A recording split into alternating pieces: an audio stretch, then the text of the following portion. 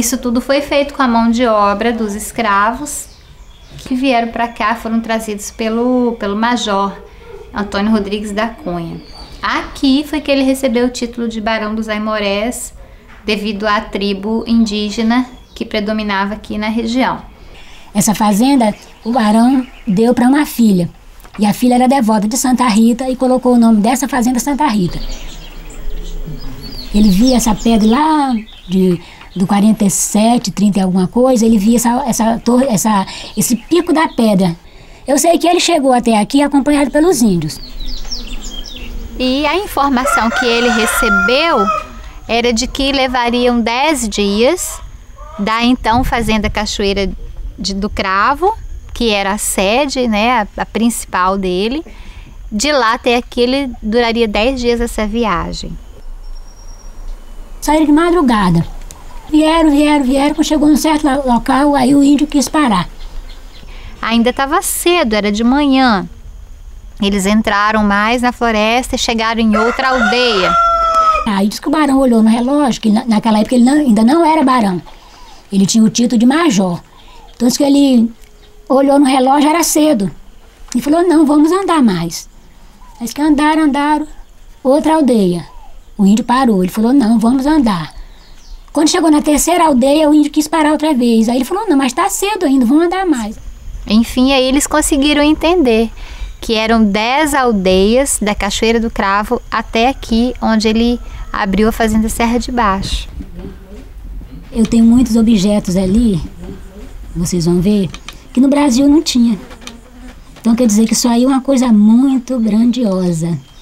Você saber que você tem peças que não foi fabricada aqui no Brasil, coisas que veio de fora. Coisas que para chegar até aqui viria pelo navio. Hoje tem avião, né? Você pode sair daqui, vai lá rapidinho, você tá, né? E antigamente? Eu nasci, fui criada aqui, né? Então tudo para mim é importante, tanto pelo lado sentimental quanto pelo lado histórico que hoje a gente entende e vê a importância que tem esta casa, e todos os objetos que estão aqui.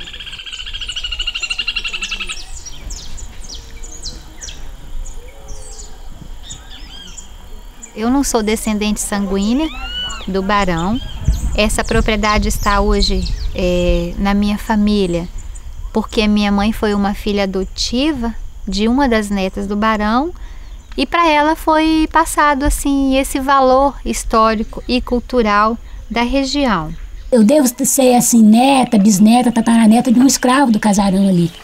Eu não nego isso e, e gostaria de, de, de saber da minha descendência, né? Mas até hoje eu não descobri.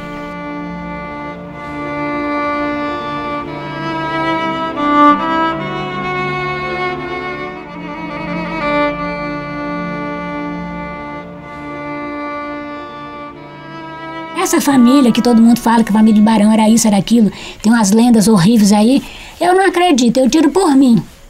Falo mesmo, porque se eles fossem uma família do tipo que falam, elas não tinham criado tanto filho dos outros, elas não tinham colhido tanto filho dos outros, não tinham colhido tanta gente como elas colheram. Porque a minha mãe contava, assim, porque eu conheci o casarão, uma parte. Então disse que ali embaixo né, que muita gente fala que era senzala, que era o lugar que, que, os, que os escravos padeciam, que ela me contava que não tinha nada desse padecimento, que eles não tinham esse coração. Então embaixo tinha é, casa de farinha, tinha engenho de, de, de, de cana para fazer melado, rapadura, tinha oficina de madeira, mexia com madeira, então embaixo era isso. E tinha moradia também, da, de famílias, né? E em cima, como a casa era muito grande, então, um lado ficava a família dele e o outro lado ficava a família de escravos, mulheres de resguardo, gestante, velhos, pessoas doentes. Então, ficava na parte de cima, alojamento de cima.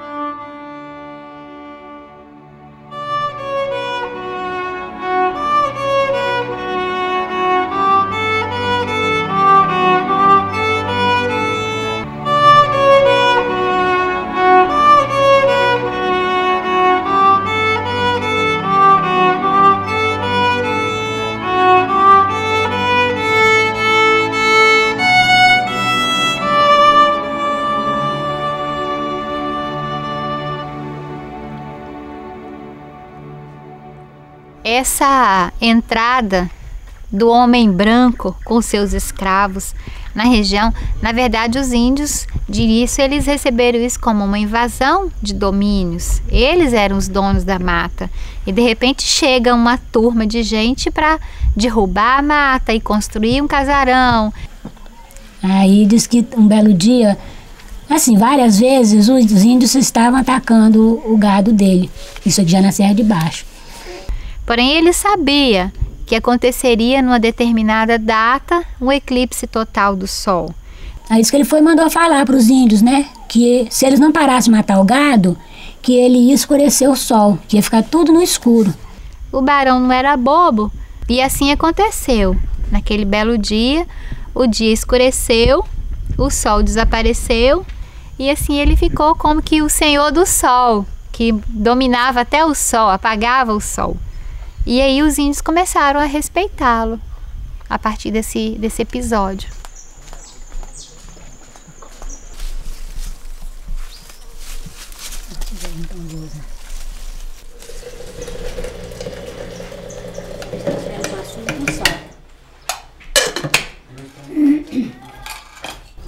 Essa panelinha aqui é a famosa panelinha da escrava. Essa panelinha aqui a, a escrava deu para Alice, que era neta do barão. A Alice tinha por volta de 8 ou 9 anos e a escrava deu para ela, pra ela brincar de casinha, de cozinhadinho, né, com a panelinha. Depois passou para minha mãe também. Minha mãe brincou muito com essa panelinha. Eu não brinquei com essa panelinha. Porque ela não deixou, porque já era relíquia. Então,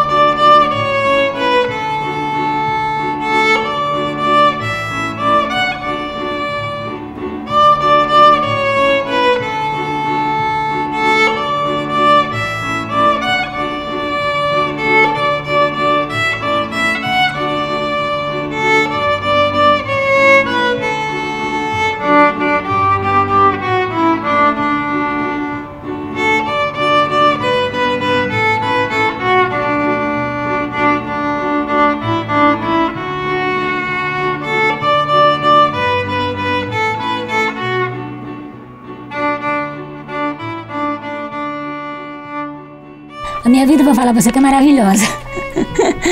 é o que eu tenho que te falar, que a minha vida é cheia de maravilhas. Para mim, um dia desse, um dia desse, é, eu, eu, me sinto feliz.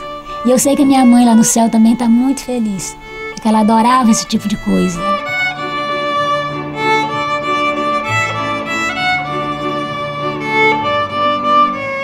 Nós temos, assim, a responsabilidade em manter esse período da história intacto, transmitindo isso para as futuras gerações. Não deixar isso se acabar, não deixar ser destruído, não deixar morrer.